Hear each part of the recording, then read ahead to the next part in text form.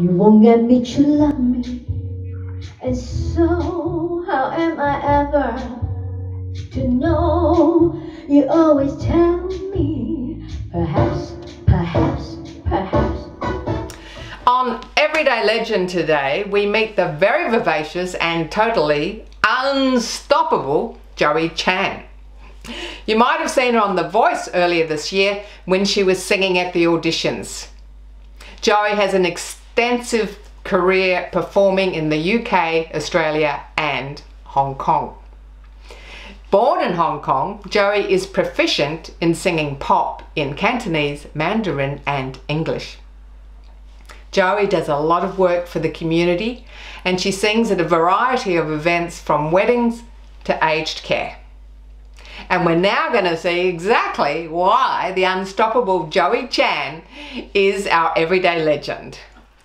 Hi Joey and welcome to Over 50 So What? The unstoppable Joey.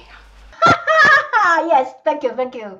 now I saw you on The Voice and I thought you're definitely unstoppable. You've got lots of zest for life. So that's what inspired me to get hold of you because all the viewers, that's we love to see people who are inspiring that are over 50, they've got lots of energy and zest for life and they want to know what your secrets are. Ooh la la.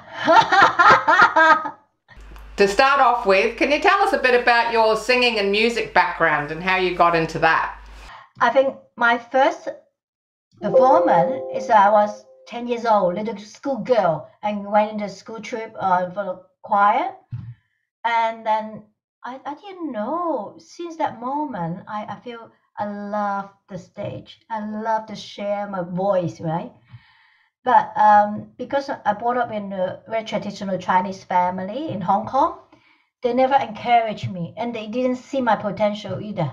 I had, don't have any singing lesson, no, no, uh, it's just not been developed, you know. But in my heart, ten years old, already planted the and then later on, when I'm in high school, I tried to join the singing competition because I still love singing.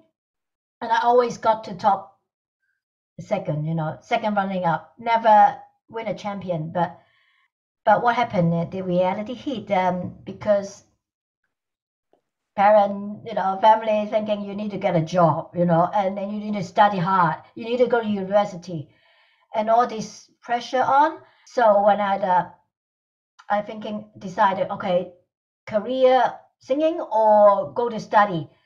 So I went to England to study jewelry design at the end, and uh, but lucky enough, I got singing opportunity in UK too because I win the singing competition in Chinese song.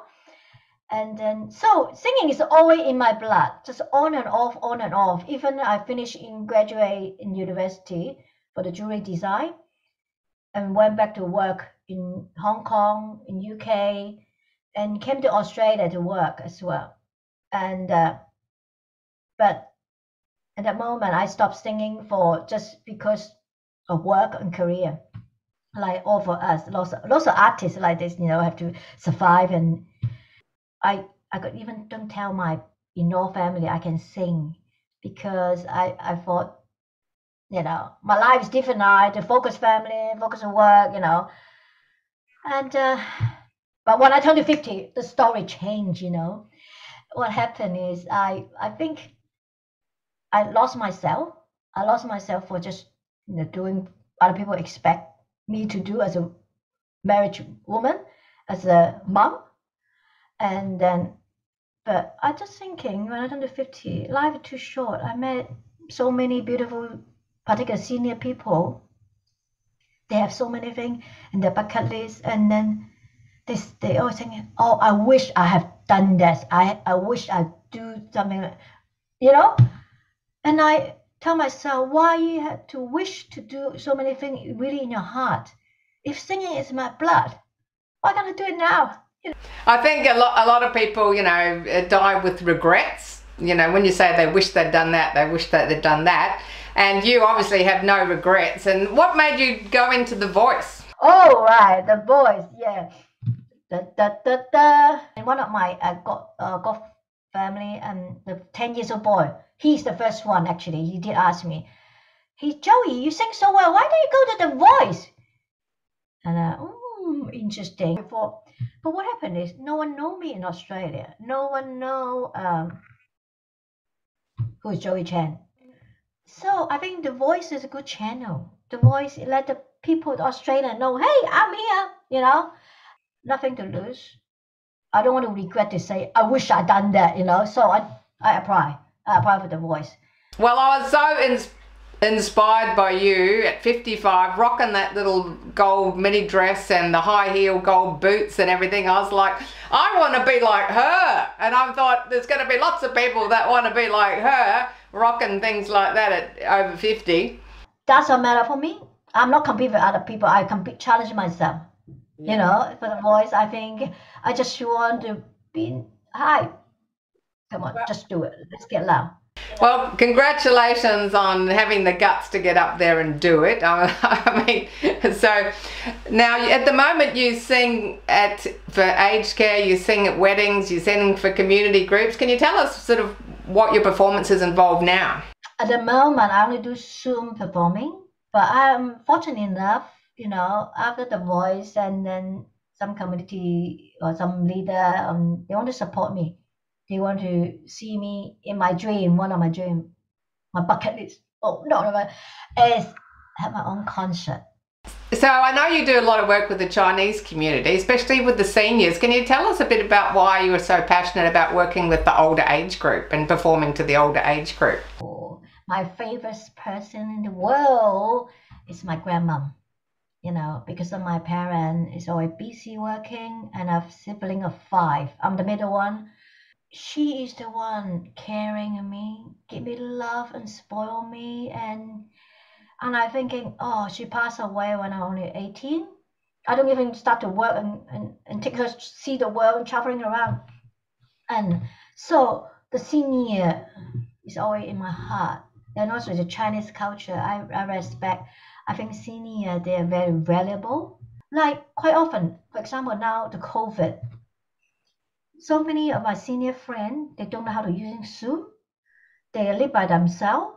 They they they quite uh, isolate. So if we have people like you and me, or some other volunteer, or some people passionate about serving the others or bringing joys, and then we can just cheer them up. You know, cheer them up even even one day. If everyone give one day for the other, you know, the world will be better. The senior will be living more happy life, you know. I, of course, physically, we may be slowing down, but we're not dead yet, right? So I think why are we doing something? And also serving, giving um, to the other, it is happy thought for me. I think if you can give, you're even better than receive, you know. And then that's why I know I'll be aging, you know, even though you're thinking I'm like look like 40 or whatever. But I just try to maintain my health, you know. I try to prolong the aging. And then if you wrinkle coming, it's okay, it's wrinkle coming, you know.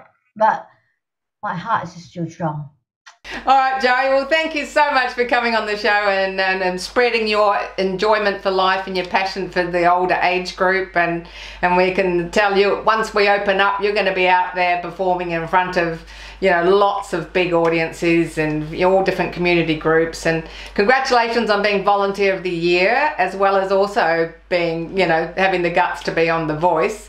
So well done, and thank you so much. Yeah, yeah, and also I want to clarify. I, am I'm, I'm not a volunteer of the year of the whole Australia. I'm only the RAI, uh, the council. So I, I'm not. I'm not saying I'm a, but I, I just be a blessing to to be able to serve and then and to know you and congratulations on your TV presenter award. You know, hallelujah. And then I'm sure you'll bring more joys and then uh, more people can benefit. You know, and do life together with you. Okay? If you need me again, yep. So if you really love me, say yes. But if you don't, confess. And please don't tell me. Perhaps, perhaps, perhaps. Perhaps, perhaps, perhaps. Perhaps you'll start working on something to do in the Senior Spectacular. Perhaps you'll start doing a five minute fitness routine every day. Perhaps you'll follow the example of Joey and take a bold step and go audition for The Voice. Or maybe just do something else outside your comfort zone. If you'd like more information on Emma from the Daisy Chain and Joey Chan, the unstoppable Joey Chan, just go to our website, carolohalloran.com. Please join our Facebook group and our YouTube channel, Over 50 So What. If you're watching this from a retirement community or from an aged care facility, just imagine what it would be like to have Emma and Joey come to your facility and get everyone going. One thing's for certain, it would be lots of fun and laughter. Just what we need at this time. Keep active, keep connected, and keep laughing. I'm Carol, I'm 50, so what?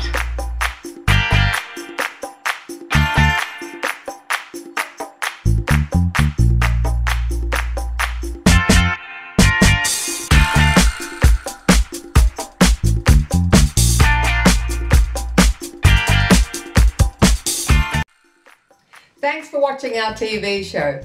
Be sure to hit subscribe and then you'll never miss an episode. Jump on Facebook, join our group, get in on the fun, fitness, wellness and inspiration. I'm Carol, over 50. So what?